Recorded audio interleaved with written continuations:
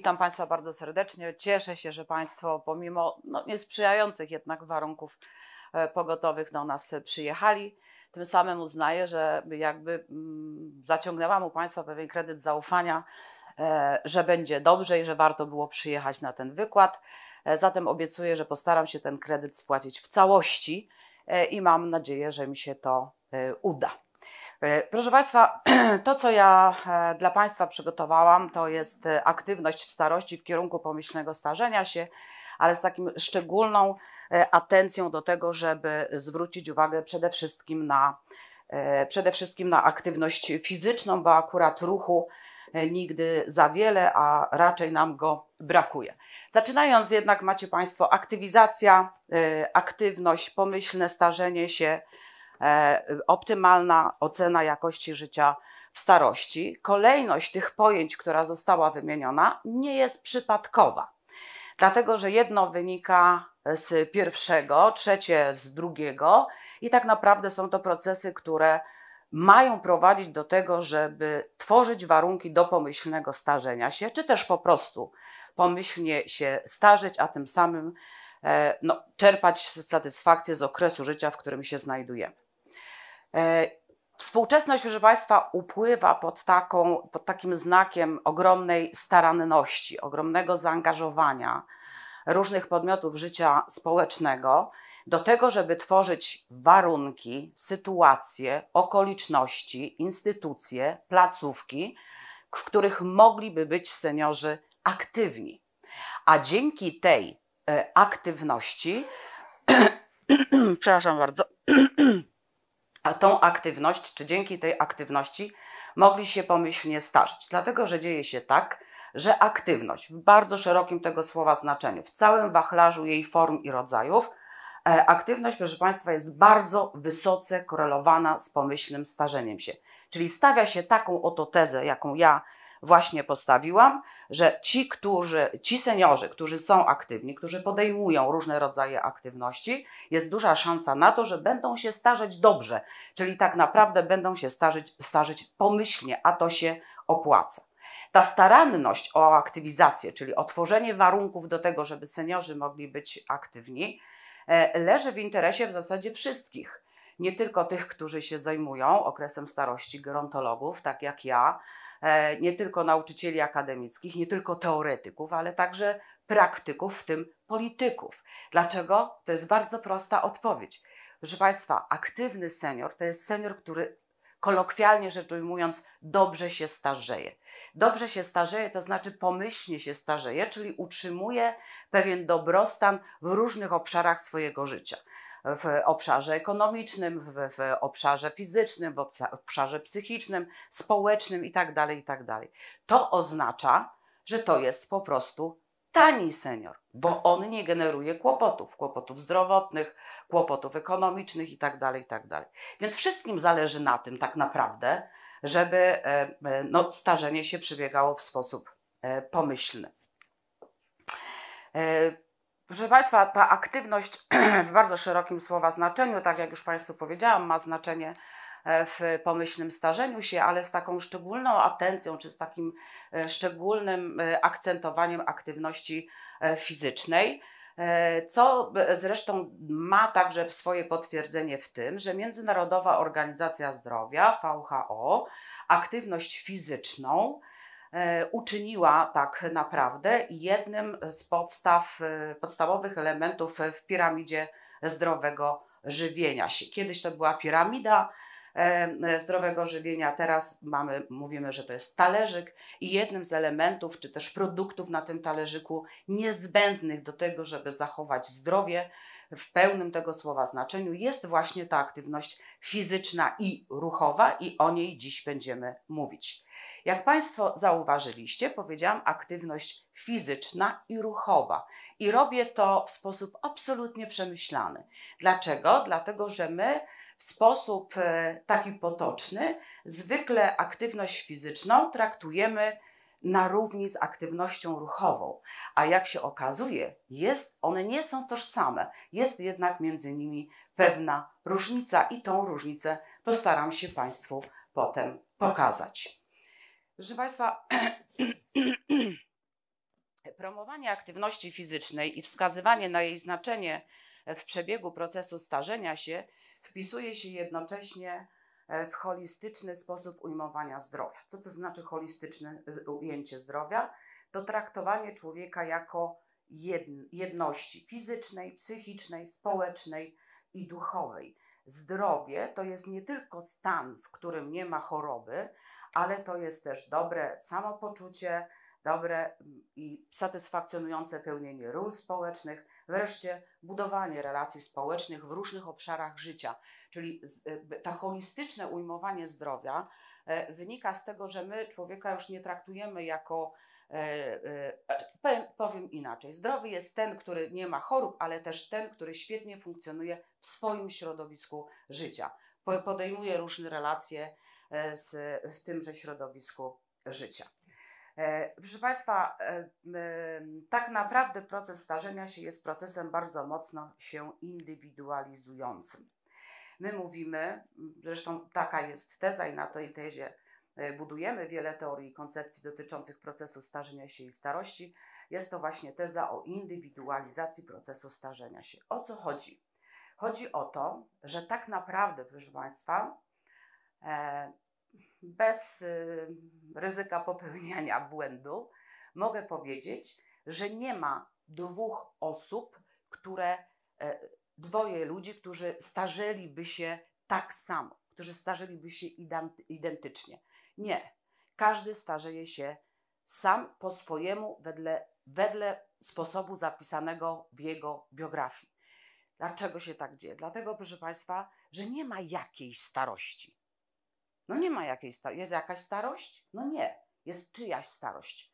Ona do kogoś przynależy. I w zależności od tego, do kogo przynależy, taka jest. To jest starość Agaty, starość Ani, starość Gosi, e, starość Zosi, starość Ryszarda, Krzysztofa. Nie ma jakiejś starości. To nie jest jakiś określony konstrukt pojęciowy. To jest czyjaś starość, to jest czyjeś życie. I teraz to, jak będzie przebiegało to nasze starzenie się, jakie my postawy wobec tego naszego starzenia się, jak my się będziemy czuli we własnej skórze jako ludzie starzy, zależy od całego naszego życia. Począwszy od y, sposobu y, narodzin, poprzez pierwsze ząbkowanie, przebyte choroby, wybór szkoły, wybór zawodu, spotkanych ludzi, wybór partnera, liczbę posiadanych dzieci itd. Tak itd. Tak to wszystko, całe nasze życie od urodzenia aż do starości decyduje o tym, jak my się będziemy starzeć. Stąd jest taka propozycja, czy też mówi się o tym dość głośno, że należy do tej starości, nie tylko należy, e, znaczy nie tylko można, ale należy się do własnej starości e, przygotować. Dlaczego ja mówię o tej indywidualizacji procesu starzenia się? Dlatego, że chciałabym, żebyście Państwo rozumieli, że każda starość która jest przypisana do osoby, jest jedyna, wyjątkowa i bardzo indywidualna, i od nas zależy, jak się będziemy czuć we własnej skórze jako osoby starzejące się e, i starze, stare. To, co jakby sprowokowało właśnie szukanie jakby optymalnego modelu starzenia się, czyli pomyślnego modelu starzenia się, było prowokowane pytaniem, wynikającym właśnie z tej indywidualizacji procesu starzenia się, dlaczego dzieje się tak, że jedni starzeją się fajnie, a inni starzeją się trochę mniej fajnie.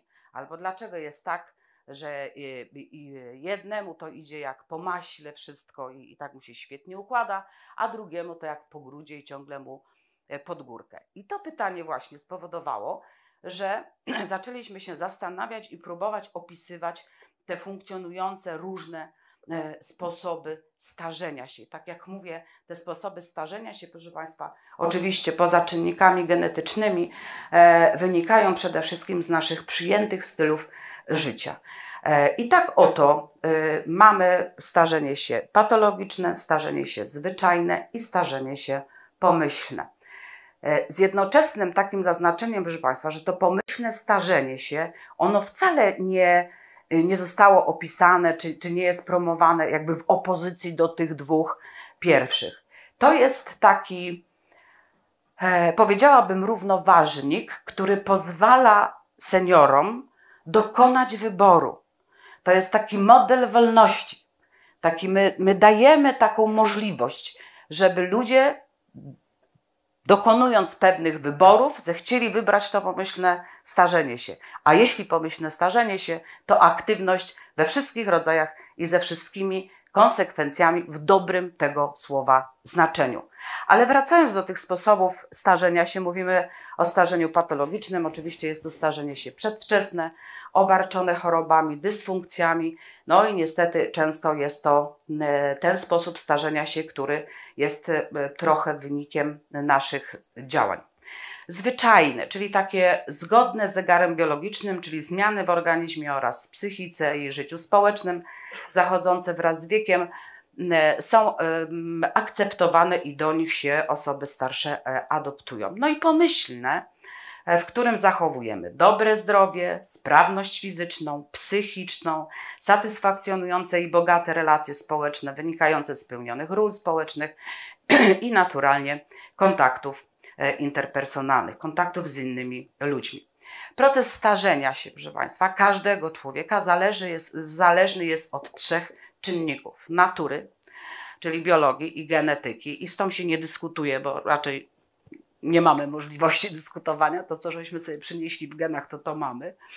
E, kulturowy, przepraszam, czyli społeczny i materialny kontekst starzenia się, czyli cała socjosfera, albo prościej ujmując, środowisko, w którym człowiek jest osadzony i w którym żyje, ze wszystkimi elementami, które w tym środowisku się znajdują, także tymi elementami, które buduje się w tym środowisku przez proces aktywizacji po to, żeby tworzyć możliwości do bycia aktywnym. I ta socjosfera, która niewątpliwie oddziaływuje na to, jak przebiega nasz proces starzenia się, jest tym środowiskiem potencjalnym, żeby ta aktywizacja zadziałała, czyli żeby to środowisko potencjalne stało się tak naprawdę środowiskiem pomyślnego starzenia się ludzi, to musi wystąpić jeszcze trzeci czynnik, który jest zależny tylko i wyłącznie od nas samych, a więc aktywność własna.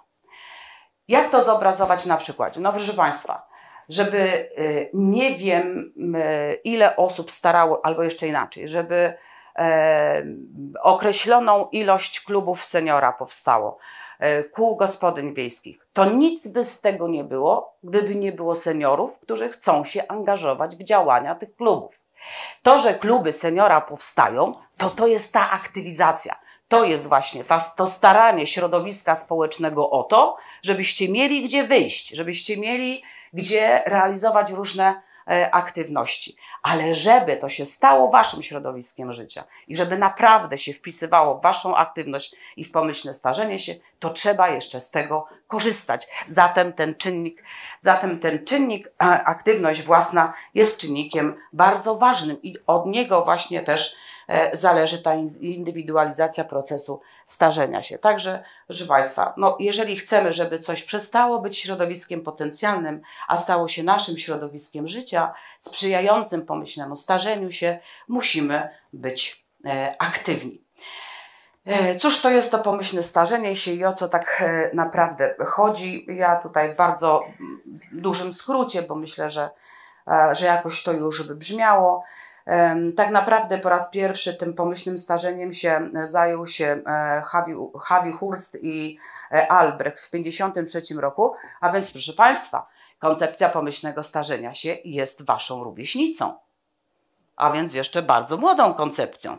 No i teraz w Waszych rękach leży to, czy ona się rozwinie i będzie dobrze oceniana, czy może będziemy poszukiwać kolejnego modelu, ale to już e, też zależy od e, Państwa. E, podstawowym komponentem, składnikiem pomyślnego starzenia się jest satysfakcja życiowa, odnoszona do subiektywnego dobrego samopoczucia wynikającego z podejmowanych aktywności, to już mówiłam, zewnętrznych warunków życia, czyli właśnie z tego środowiska E, w, życia, w którym żyjemy, komplement, kompetentnego wypełniania ról społecznych oraz poczucie bycia użytecznym. W zakres pomyślnego starzenia się włączono także takie wymiary jak szczęśliwość, przystosowanie, moralność, subiektywne dobre samopoczucie, optymalne relacje między jednostką a środowiskiem, no i oczywiście aktywność, wokół której cały ten wykład jest e, budowany.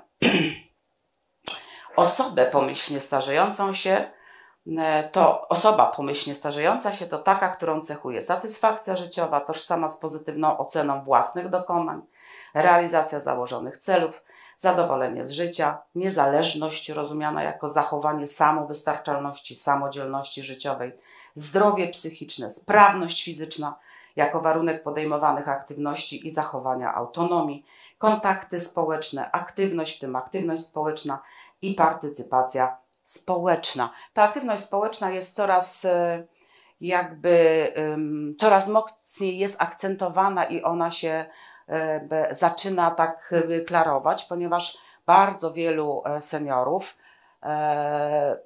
no, którzy współcześni seniorzy, tak jak Państwo, no, są coraz lepiej pasażeni ekonomicznie, zdrowsi, bardziej zadowoleni z siebie, więc to zadowolenie i to zdrowie i tę sprawność, którą jeszcze ma, bardzo chętnie się nią dzieli i dlatego w obszarze aktywności społecznej bardzo no nie chciałabym użyć słowa modne, ale modna, ale wydaje mi się, że to jest dobre słowo modna staje się działalność wolontaryjna. Po prostu seniorzy coraz chętniej włączają się w działalność wolontaryjną i to uwaga nie tylko na rzecz grup młodszych, ale coraz częściej na rzecz swoich równolatków. To jest bardzo cenne, proszę Państwa, bo nie wystarczy mieć, trzeba się jeszcze umieć dzielić.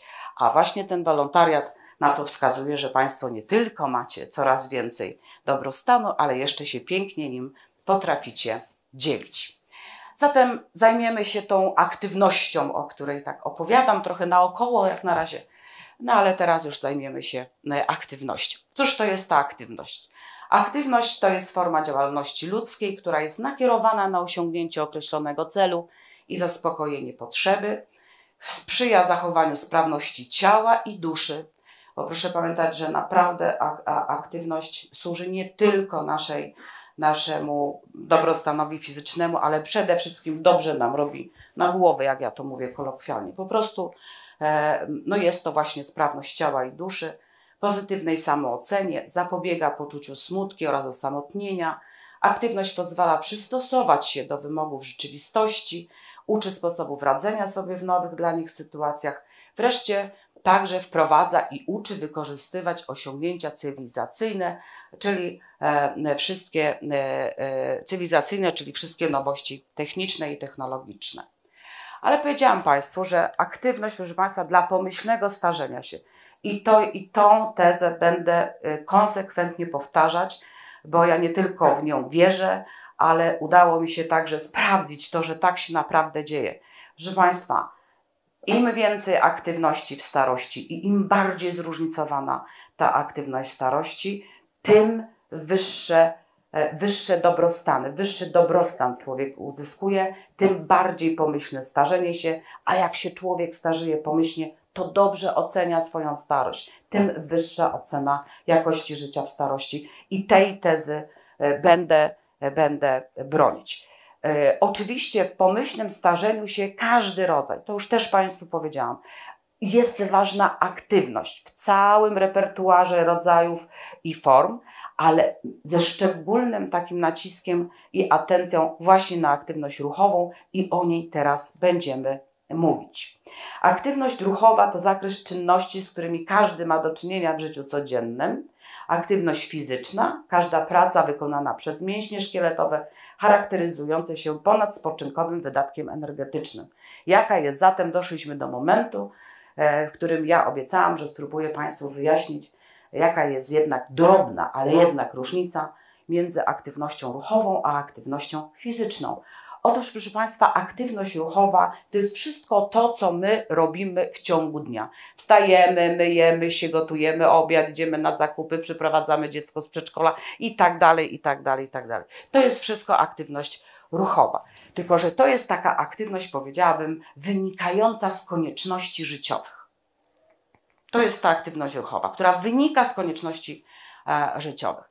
Aktywność fizyczna już musi być zaplanowana, ponieważ ona jest nastawiona na to, żeby uruchamiać określone e, określone e, części naszego aparatu ruchowego i określone partie mięśni. Więc musi być przemyślana, musi być celowa i najlepiej, żeby była systematyczna, bo tylko wtedy daje zamierzone rezultaty. To jest ta różnica. Aktywność ruchowa to jest wszystko to, ja teraz też mam aktywność ruchową, ale ona się nijak nie ma do aktywności fizycznej, bo tę to akurat sobie uprawiam przy okazji innej czynności, jaką jest wygłaszanie do Państwa wykładu. A jeżeli ja wyjdę, wezmę kijki e, i pójdę na spacer z kijami, to wtedy to już jest aktywność fizyczna. Rozumiecie Państwo? Ta aktywność fizyczna ma takie cel, ma z tyłu głowy, ma cel, żeby uruchomić określone mięśnie czy określone e, partie e, ciała. Proszę Państwa, e, aktywność ruchowa versus hipokinezja. Cóż to takiego? No, grzech główny e, starości, proszę Państwa. E, taki zespół od bardzo dawna zajmujący się wpływem aktywności ruchowej i aktywności fizycznej na przebieg procesów starzenia się podkreśla, na, na czele której stał profesor Schwarz, podkreśla, że właściwa aktywność ruchowa jest nieodłącznym czynnikiem profilaktyki przedwczesnego starzenia się, rehabilitacji, rewitalizacji gerontologicznej. Niedobór ruchu prowadzi do przyspieszenia procesu starzenia się oraz niedołęctwa i inwalidztwa fizycznego, a pośrednio także psychicznego.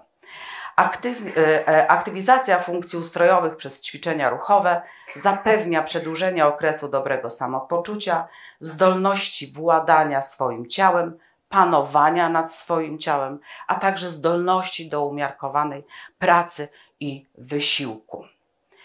Tymczasem nader częstym grzechem głównym starości jest no właśnie wywołana przeze mnie hipokinezja. Hipokinezja to jest niewystarczająca aktywność ruchowa, którą niektórzy nazywają samobójstwem na raty, a ci odważniejsi rehabilitanci i fizjoterapeuci twierdzą wręcz, że jest to hodowca niesprawności, a nawet niepełnosprawności. Więc niewystarczająca ilość ruchu. No tak, chyba tak można powiedzieć, pośrednio zabija, więc należałoby tylko promować ruszanie się. E, nie jest ona bezpośrednim objawem, ale jest czynnikiem ryzyka różnych chorób. Przez e, właśnie Międzynarodową Organizację Zdrowia uznana została za czynnik ryzyka wystąpienia głównie chorób cywilizacyjnych, takich jak miażdżyca, któż się z nią nie zmaga. Ja także co wieczór biorę mały niebieski tableteczek na miażdżycę nadciśnienie, e, cukrzyca typu B, otyłość, schorzenia natury psychicznej, proszę Państwa, te apatie, odrętwienia, depresje, to też jest wynik niedostatecznego, niedostatecznego ruchu. Zresztą osoby, które się e, u specjalistów leczą na depresję, jednym z zaleceń jest ruch, jest ruszanie się, prowokowanie do tego, żeby się ruszać. Niedostateczna ilość ruchu wiąże się z upośledzeniem nie tylko fizycznym, ale i psychicznym i to jest bardzo ważne. Jakie są kierunki zmian w następstwie procesów starzenia się? E, w, i hipokinezji według tego zespołu i Szwarca. No macie Państwo, proszę Państwa, że procesy starzenia sprzyjają temu niedoborowi ruchu, czyli hipokinezji, co jest jakby skutkiem tego, że mamy zwolnienie przemianie materii, przewagę procesów katabolicznych, czyli rozpadu, upośledzenie biosyntezy białek, zmniejszenie się objętości płynów ustrojowych. To prowadzi do zmniejszenia ogólnej wydolności fizycznej, TAPS prowadzi do o, e, zmniejszenia odporności ustroju. Ostatecznie mówimy o spadku możliwości e, adaptacyjnych, przystosowawczych do różnych i nowych warunków życia. E, dobrze, hipokinezja i e, co dalej. Nie będzie miło, proszę Państwa, i nie dlatego, że ja tutaj chcę Państwa straszyć. Ja tylko e, przytaczam Państwu fakty, których albo nie chcemy słyszeć, albo od siebie odpychamy, albo po prostu się jakoś tak nie składa, żeby o nich mówić. E, niestety, proszę Państwa, hipokinezja, czyli ten niedostateczna ilość ruchu, czy brak ruchu, może wywołać nie tylko choroby cywilizacyjne, o których mówiłam, ale bardzo często może prowadzić też do znacznie poważniejszych schorzeń. I tu je Państwo macie wypisane. Mówimy tu o udarze mózgu, o zawale serca, o zmniejszeniu się objętości serca, o upośledzeniu ukrwienia serca, o zagęszczeniu krwi, o spadku możliwości krzepnięcia, no i wreszcie tworzenia się chorób natury onkologicznej, w tym głównie raka jelita grubego. Nie wspominając już o hemoroidach i, e, i osteoporozie. E, proszę Państwa, nie mówię tego dlatego, żeby, tak jak mówię, żeby wywoływać pewien rodzaj strachu, czy tam ktoś znaczy. Ja, ja po prostu chcę, bo my na co dzień nie mamy jakby e, możliwości dłuższego zastanawiania się, czy, czy, czy to dobrze, że się tak tyle ruszamy, czy źle, czy w ogóle zastanawiamy się nad tym, jeżeli ktoś nie uprawia sportów E, nie zastanawiamy się nad tym, jakie ten ruch ma znaczenie. Otóż ma, proszę Państwa, jest jego brak, jest przyczyną wielu bardzo niebezpiecznych, niebezpiecznych e, chorób. Hipokinezja uznawana jest za główną przyczynę zgonów w krajach rozwiniętych i uznawana jest też, e, nie jest uznawana, znaczy chorobą nie jest, nie wymaga leczenia farmakologicznego, ale wymaga leczenia bądź profilaktyki w postaci aktywności ruchowej. WHO, czyli Międzynarodowa Organizacja Zdrowia, wypracowała taki e, model e, optymalnej, optymalnej aktywności fizycznej. I tu jak Państwo macie, to jest 3 razy 30 razy 130. To się bardzo prosto e, tłumaczy, czyli 3 razy w tygodniu po 30 minut z tętnem na poziomie 130 uderzeń na minutę. Serce 100, 130 uderzeń serca na minutę, to 130 uderzeń to jest taka e, optymalna sprawa. E, i gdyby tutaj pani dr Małgorzata Krawczyk-Bicharska miała okazję Państwu powiedzieć, to no właśnie tak ona działa z Jędrzejowskim Uniwersytetem Trzeciego Wieku, z którym chodzi na Nordic Walking co poniedziałek. I na początku panie właśnie tak sobie trochę dreptały, ale Małgosia znając ten model zaczęła podkręcać, no i teraz już utrzymujemy ten ten model 3 razy 30 razy 130. E, to się sprawdza, to można zrobić z całą pewnością. Jaka jest rekomendacja hipo, e, e, VHO? Hipokinezja to potencjalne zagrożenie cywilizacyjne, które chorobą nie jest, ale do wielu chorób prowadzi. Co więcej, każdy może jej zapobiec. Hipokinezja, jak to zwykle zło, jak to zwykle zło, ma także złe towarzystwo. I jakież to jest to złe towarzystwo hipokinezji? Macie Państwo akinezja, bradykinezja i sarkopemia. E, akinezja to jest całkowity bezruch, paraliż, no i to już jest jednostka chorobowa, proszę Państwa.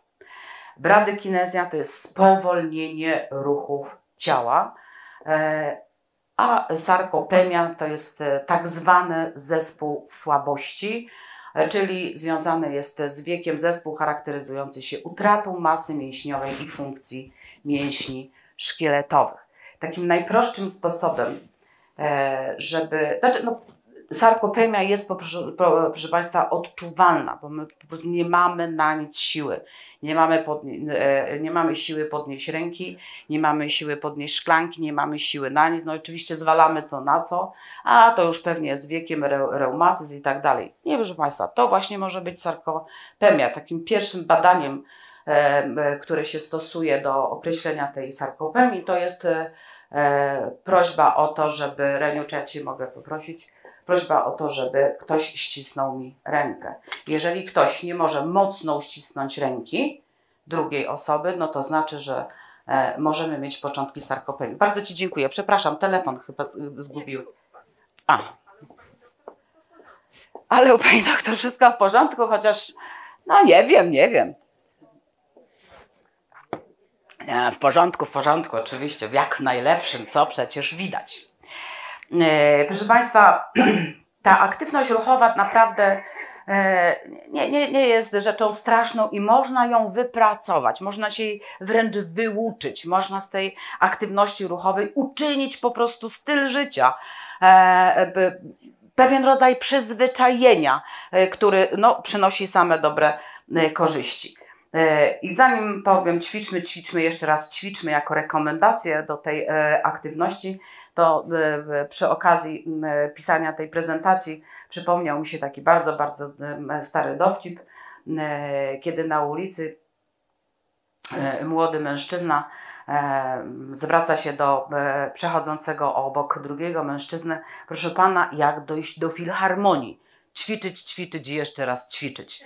No więc e, ja to sparafrazuję i powiem tak. Jak dojść do pomyślnego starzenia się? Ćwiczyć, i jeszcze raz ćwiczyć. No i w zasadzie cel osiągnęłam, proszę Państwa, mogłabym już e, e, zakończyć. To, co ważne w tych ćwiczeniach, na co też y, by należałoby e, zwrócić uwagę, to proszę Państwa, e, trzeba też mieć świadomość e, jakby własnego ciała i własnych możliwości psychofizycznych. I to też muszę powiedzieć, bo to też Państwo musicie wiedzieć, że ta aktywność, zwłaszcza aktywność ruchowa we wszystkich swoich, czy w niektórych swoich odmianach, E, no, ma charakter selektywny, czyli to oznacza, że nie każdy może każdy rodzaj ćwiczeń uprawiać. To musi się za każdym razem mieścić w granicach no, naszych możliwości psychofizycznych, tak? naszych możliwości e, mięśniowo-szkieletowych nawet, jeśli tak bym mogła mm, powiedzieć, ale oczywiście należy to mm, e, by zrobić. I od czego zacząć? No, każda dodatkowa dawka ruchu może być dobrana do naszych możliwości. Jak zacząć? Bardzo prosto. Tutaj macie Państwo napisane. Zamiast e, zjeżdżać windą z czwartego piętra, wystarczy się przejść po schodach. Zamiast zjechać autobusem e, na tak zwany ryneczek po świeże warzywa, to należy po prostu przetreptać jeden, drugi, trzeci raz, a potem to już będzie marsz, a potem to już będziecie mogli e, naprawdę uprawiać E, nawet biegi i tak dalej, i tak dalej. I tutaj macie też Państwo, e, no co, pogrubione. E, proszę Państwa, naprawdę, my tego nie doceniamy, ale bardzo ważnym jest przeciąganie się pod. Bardzo prawda? A jakie przyjemne! A jakie przyjemne! No, a Państwo macie tą przewagę nad wszystkimi innymi młodszymi, że wy się nigdzie nie musicie spieszyć. Więc po tym, jak otworzycie oczy, to przeciągać się możecie Państwo do woli. Jeżeli ktoś jeszcze tego nie robił, polecam. To naprawdę bardzo dobrze robi i jest bardzo przyjemne. I bardzo się cieszę, że Pani także e, poleca. Także zaczynamy, pro, pro, promujemy na razie, że tak powiem, przeciąganie się w łóżku, e, potem spacery do sklepu, a e, skończymy na długodystansowych maratonach, czego Państwu i sobie oczywiście życzę. Eee, cytując profesora Wojciecha Oczko, bardzo to jest ładne i ja już to dawno mówiłam. Nie jeden lek można zastąpić ruchem, lecz ruchu nie można zastąpić żadnym lekiem. Eee, I myślę, że ta świadomość do wielu lekarzy dotrze.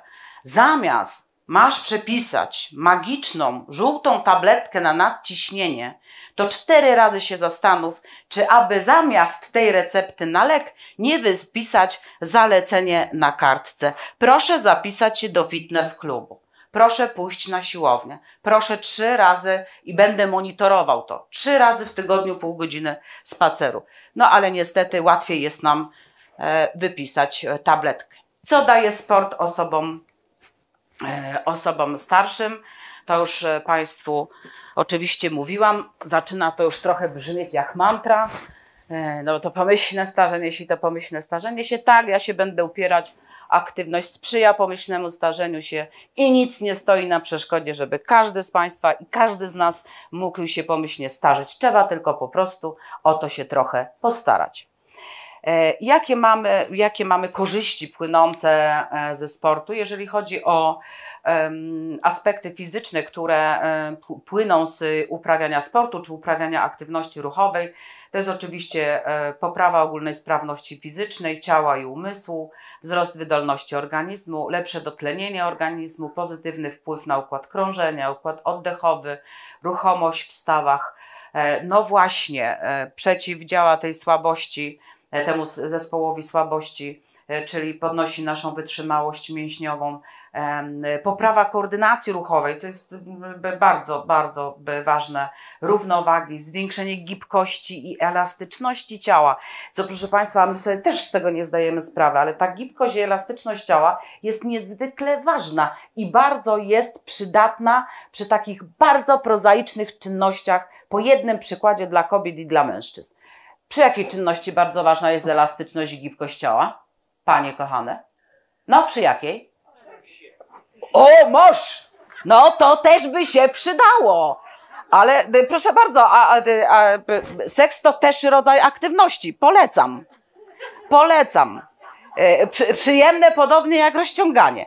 Ale nie. Teraz mówię, e, niech mi panie powiedzą. Przy czym jest ważna gibkość, elastyczność? No właśnie. A u panów poza seksem? Skarpety, brawo! Oczywiście, oczywiście. Zakładanie skarpetek, proszę Państwa.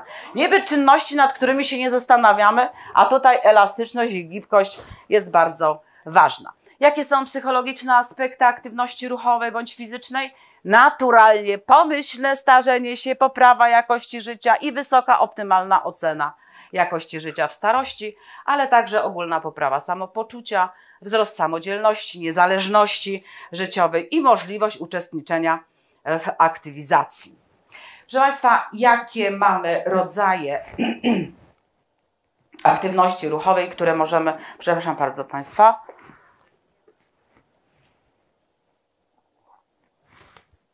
O, ratujecie mi życie dziewczyny. E, otóż w tej aktywności fizycznej, bo tak już ją chyba trzeba nazwać. W aktywności fizycznej możemy, e, e, możemy wykonywać, mamy takie rodzaje ćwiczeń jak ćwiczenia aerobowe, czyli wytrzymałościowe, które mają poprawić wydolność tlenową. I do tych, do tych ćwiczeń aerobowych zaliczamy taniec, pływanie, jogging, jazda na rowerze, ale bez obciążenia, bo jeżeli ktoś ma chore kolana, to tej jazdy na rowerze nie, nie, nie, nie, nie polecam. E, kolejny rodzaj ćwiczeń to są ćwiczenia siłowe, inaczej nazywane e, oporowymi, e, które wzmacniają siłę mięśni i które często są ćwiczeniami wykorzystanymi z określonymi przyrządami, na przykład jak z handlami. Ale ja tutaj nie, oczywiście nie namawiam Państwa do kupowania od razu e, takiego fachowego sprzętu. Wystarczy wykorzystać to, co... Spokojnie, Aniu, ja tylko chciałam coś pokazać. E, wystarczy... Widzicie Państwo, jakie mam dobre koleżanki? Już jest w gotowości, żeby mi pomóc.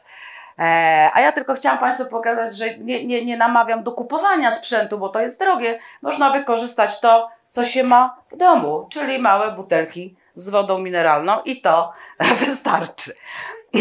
Intencja była e, piękna, Aniu, bardzo Ci dziękuję.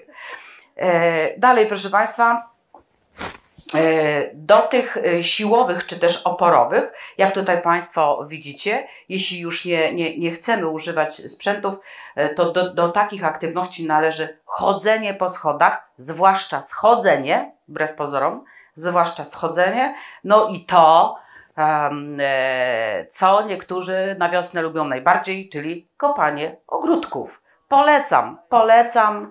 Kopanie ogródków też dobrze robi. E, ćwiczenia rozciągające, uelastyczniające mięśnie, czyli poprawiające ukrwienie układu motorycznego, tak? czyli wszystkich tych naszych ruchomość stawów, gibkość i no i to, co już mówiliśmy przy wkładaniu skarpetek i biustonosza jest bardzo ważne równoważne i koordynacyjne, e, które przyczyniają się do ogólnej sprawności, możliwości loko, lokomocji, czyli chód do tyłu, chód na piętach. E, to jest trochę tak, jakbyśmy się cofnęli w fazie rozwoju. I wiecie Państwo, no na pewno jesteście Panie babciami, dziadkami, e, panowie i czasem jak się zdarza, albo w, w, w, przedszkolach czasem się robi takie też działania ruchowe dla dzieci, żeby dzieci nie miały platfusa to co robią? No właśnie, chodzą najpierw na palcach, potem na piętach. No ja nie będę tego e, próbowała robić, bo mam szpilki. E, na piętach, tak? E, albo, albo łapiemy w palce no to trzeba tak z wnukami ćwiczyć, proszę Państwa, i to bardzo dobrze robi. Bardzo, bardzo równoważy, bardzo daje dużą koordynację i, i uelastycznia, to, co jest niezwykle, niezwykle ważne. Jakie mamy ogólne rekomendacje dotyczące aktywności mm, ruchowej w, w prewencji, rehabilitacji osób starszych? Ja mam okulary do patrzenia, nie do czytania, więc będę się posiłkować e, dużymi literami. To są ćwiczenia wytrzymałościowe, o których już mówiliśmy, marsz, czy, e, marsz bieg, jazda na rowerze i tak dalej. Wykonywane 2-3 razy w tygodniu, co najmniej po 20 minut z intensywnością tu piszę na poziomie 40-80% rezerwy, co się sprowadza do tych 130 uderzeń serca na minutę. Ćwiczenia siłowe wykonywane dwa razy w tygodniu po 20 minut, zawierające zestaw 80 ćwiczeń, angażujących najważniejsze grupy mięśniowe po 10-15 powtórzeń każdego ćwiczenia, no i wreszcie ćwiczenia rozciągające. Że Państwa, to mówię, te, te ćwiczenia rozciągające zaczynamy od przeciągania się w łóżku, a potem po wstaniu z tego łóżka możemy kontynuować. Polecam, e, one powinny być wykonywane codziennie po 5-10 minut, więc jak widzicie Państwo, żeby z całego dnia wygospodarować czy ukraść e, z tej naszej codzienności to 10 minut dla własnego zdrowia, to nie jest tak dużo, a ten rodzaj y, by kradzieży czy złodziejstwa będzie Państwu wybaczone z całą pewnością, a nawet nagrodzone dobrym y, y, zdrowiem. E, co oznacza umiarkowana intensywność ruchu? No właśnie. Umiarkowana intensywność wysiłku fizycznego w prostej definicji Światowej Organizacji Zdrowia to jest taka, w trakcie której możecie mówić, ale już nie możecie śpiewać. Taka, tak jest najprościej, tak? Jak Państwo by, by czasem mm, oglądacie, no bo teraz na, na, e, w internecie można znaleźć wiele filmików, wiele takich właśnie e, treningów różnych, to tam mm, właśnie no, na, tych, na tych, gdzie e, są te koordynujące, rozciągające, to Pani swobodnie mówi, ale tam, gdzie są już oporowe, to już e, zaczyna mówić z dużą trudnością i myślę, że z całą pewnością by nie zaśpiewała tak jak mówię, dobra aktywność czy umiarkowana intensywność wysiłku fizycznego to taka, w której jeszcze, podczas której jeszcze możemy mówić, ale już nie możemy śpiewać. No i, i znowu rekomendacja, jakakolwiek, nawet e, najmniejsza aktywność fizyczna jest lepsza niż żadna. E, dlaczego ja tutaj by, by wskażę jeszcze na niektóre i zaczynam od tańca? Dlatego, proszę Państwa, nie tylko dlatego, że taniec się z, e, zrobił modny, bo mamy program Jaki to jest program? Podpowiedzcie mi. Taniec z gwiazdami. Mam. A, przypomniałam sobie.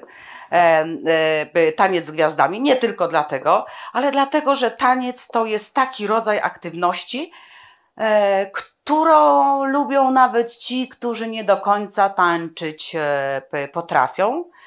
E, no bo każdy potrafi, tak, to jest tylko chyba kwestia chęci. Dlaczego wskazuję na taniec? Dlatego, że taniec poza tą funkcją taką rehabilitacyjną, rewitalizacyjną, taką sprawnościową, spełnia jeszcze mnóstwo funkcji społecznych poza takich ruchowych, społecznych, dlatego że no jest często spotkaniem z drugim człowiekiem. To jest e, dopasowywanie się do rytmu funkcjonowania drugiego człowieka. To jest wsłuchiwanie się w jego E, e, także w jego przestrzeń, e, tą, tą najbliższą fizyczną, ale też i tą emocjonalną. No same, proszę Państwa, korzyści, jak tutaj Państwo widzicie, no, ka każdy taniec bez względu na wiek i stopień sprawności, na miarę swoich możliwości przy, fizycznych przynoszą maksimum efektu i naprawdę dużo, dużo satysfakcji.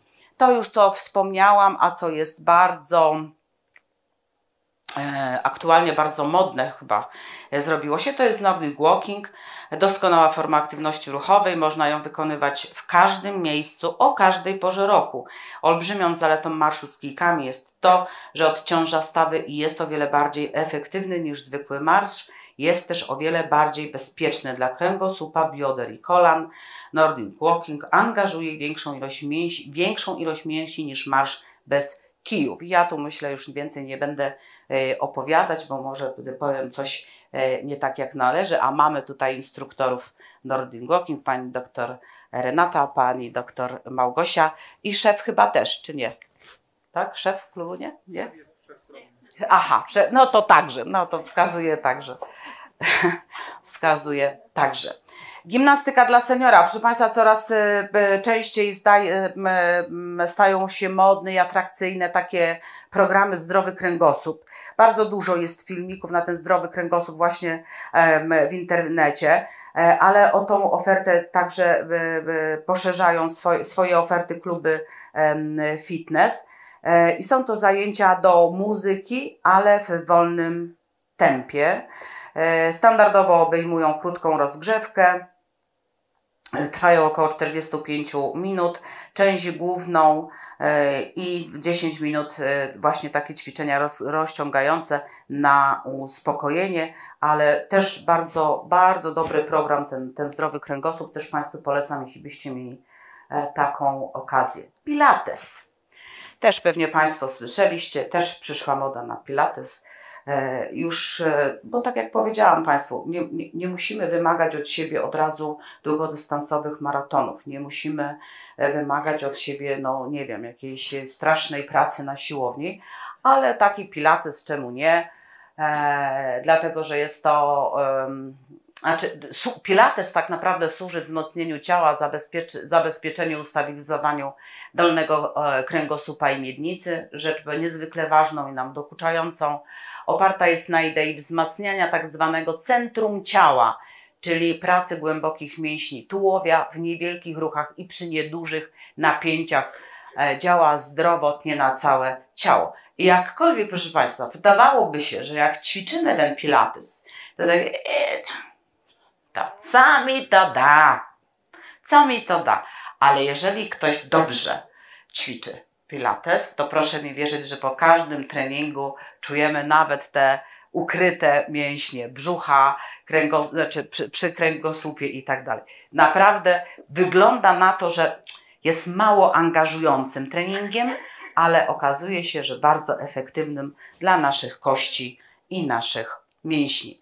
Pływanie no to oczywiście same, e, same zalety polecam. E, na wszystko w zasadzie możemy powiedzieć, że pływanie jest dobre na wszystko i powinno być zalecane przy każdej możliwej.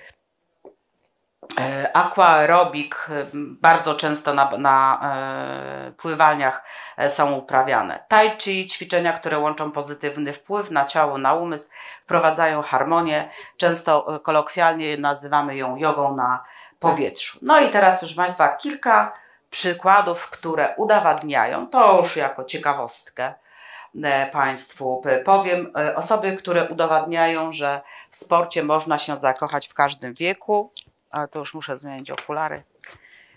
E, I tak mamy Stanisław Kowalski, 104-letni rekordista Europy w biegu na 100 mm, metrów. Pochodzi ze Świdnicy jest jak do tej pory jedynym stulatkiem, który podjął się takiego wyzwania na naszym kontynencie. Nigdy nie miał ze sportem nic wspólnego, e, tylko do pracy jeździł na rowerze 10 km w jedną stronę. Kilkanaście lat temu zaczął jednak trenować bieganie i od tamtej pory codziennie, bez względu na pogodę, przebiega 10 kilometrów. Czasem truchta, czasem przemaszeruje, czasem podjedzie kawałek autobusem, ale codziennie wychodzi z domu i pokonuje ten dystans, opowiadają jego y, koledzy. Jaki jest sposób, przepraszam, rekordzisty na tak dobre zdrowie i długowieczność? Nie obiadać się i nie jadać na noc. Czasem można wypić 50 gramów, ale tylko kiedy jest smak, a nie codziennie, odpowiada krótko. E, niesamowita historia pana Janka. Pan Jan Morawiec, 87-letni e, mistrz świata w maratonie. E, wróci, Morawiec wrócił w październiku w 2013 roku ze złotym medalem z Mistrzostw Świata Weteranów w maratonie brazylijskim Porto Alegre wynikiem 4 minut, tak dobrze mówię? 4 minuty, 4 sekundy, czy, czy nie? 4 godziny minutę i 37 sekund. No właśnie. E, czego mógłby mu pozazdrościć nie jeden 20 czy 30 e, e, latek. Zapytany o to, czy lekarze odradzają panu startów w maratonie, mm, odpowiada: Byłem kiedyś u jednego, spojrzał na mnie i powiedział: Jak chce pan żyć, to niech pan da sobie spokój z tym sportem. Niech pan wyjdzie sobie na spacerek, posiedzi na ławeczce w parku. Uśmiechnąłem się grzecznie i powiedziałem: Do widzenia. No i słusznie. W swojej ponad 50-letniej e, karierze przebiegł ponad 120 maratonów, a urodził się 1 stycznia 1933 roku e, w Łodzi Bałutach i od dziecka ciągnęło go do sportu. Pan Jan Morawiec, 87 e, lat. Trochę za granicy wspaniała pani Peggy McAlpin, najstarsza paralotniarka na świecie. Miała 100 lat, gdy postanowiła zostać najstarszym człowiekiem na świecie, który poleci na paralotni. Ustanowiła rekord w 2007 roku i cieszyła się nim przez ponad 3 lata, bo w październiku 2011 roku 101-letnia wówczas e, Mary Alan Hardison poprawiła jej osiągnięcie. Peggy nie dała za wygraną i w kwietniu 2012 roku w wieku 104 lat znów wzniosła się w powietrze. Rozkoszowałam się każdą minutą lotu. Było lepiej niż ostatnim razem. Oczywiście będę chciała jeszcze raz tego spróbować, szczególnie jeśli ktoś pobije mój rekord. Mówiła. Także w miarę jedzenia rośnie apetyt. No i nasz pan Ryszard Kacysz, najstarszy piłkarz e, w Polsce, ja jestem kieszonkowym bramkarzem, a gra w piłkę to taka moja wariacja. Dlaczego kieszonkowym? No bo nis, jest niskiego wzrostu po prostu. E, mam 167 cm wzrostu. Na początku grałem na skrzydełku, ale szybko zostałem bramkarzem. Dobrze też skakam w dal. Pracowałem m.in. przy utrzymaniu ruchu, um, utrzymaniu ruchu w ciastkarni i cementowni. Pracowałem po 24 godziny, a potem prosto e, na mecz, a nie nie tak jak teraz. Zawodnicy lekko draśnięci krzyczą, że, żeby dać im jakieś krople i łapią się nie za te miejsca, w które dostali. Symulanci. Także ma też swoje, e, swoje zdanie na temat tego, co się teraz robi w piłce. Córka z, zadaje mi pytanie, jak długo będę grał. Powiedziałem jej, że dopóki będę się ruszał. E, jeden jest do kart, drugi do wódki, a ja do piłki. To mnie cieszy, choć wódka nie jest dla wszystkich, tylko trzeba z nią inteligentnie. Kadra, nie chciałbym ich krytykować, ale przydałoby się ich wziąć po meczu do kamieniołomów. Grają e, pod siebie w klubach za granicą, mówią im, że nie złapali kontuzji, a grają z orłem na piersi i nie grają dla siebie, a oni na wycieczkę tylko jadą. No i takich przykładów pewno jeszcze bym znalazła w internecie więcej, ale nie chciałabym Państwu, e, o, chociaż jeszcze mamy, e, Joanna, Kła, jak się to Kła, kłas? Kła, kłas chyba. Najstarsza gimnastyczka na świecie, pani Joanna, e, urodziła się w Niemczech, była dzieckiem, kiedy zaczęła trenować gimnastykę. Musiała jednak przestać, bo Sojusznicza Rada Kontroli Niemiec zabroniła tego w czasie II wojny światowej. Joanna przerzuciła się więc na piłkę ręczną. Zakaz uprawiania gimnastyki został zniesiony w 1947 roku i Joanna powróciła do swojej pierwszej pasji. W 2012 roku została oficjalnie najstarszą gimnastyczką na świecie. Można? Można. No i pewnie osoba wszystkim Państwu znana, Aleksander Doba, e, niestety już nie, nie, nie żyjący, tak, bo w ubiegłym, dobrze ja pamiętam, w ubiegłym roku chyba zmarł. 12 578 km, tyle w ciągu 160 dni pokonał samotnie kajakiem Aleksander Doba, 73-latek z Polic. Wypłynął 5 października w 2013 roku z Lizbony. Postanowił przepłynąć Ocean Atlantycki w najszerszym miejscu i dopłynąć do Florydy. Po drodze miał wiele przygód, zepsuła mu się mm, e, od salarka do morskiej wody. Na 47 dni stracił łączność ze światem, potem zepsuł mu się ster. Doba nie poddał się. Po prowizorycznych naprawach skręcił w kierunku Bermudów, by przygotować kajak do dalszej drogi. E, został świetnie przyjęty przez władze wyspy, które zorganizowały jego transport w mieście, w którym musiał zboczyć z trasy. W końcu 18 kwietnia 2014 roku dobił do wybrzeży Stanów Zjednoczonych. Aleksander Doba to emerytowany inżynier zakładów chemicznych Police.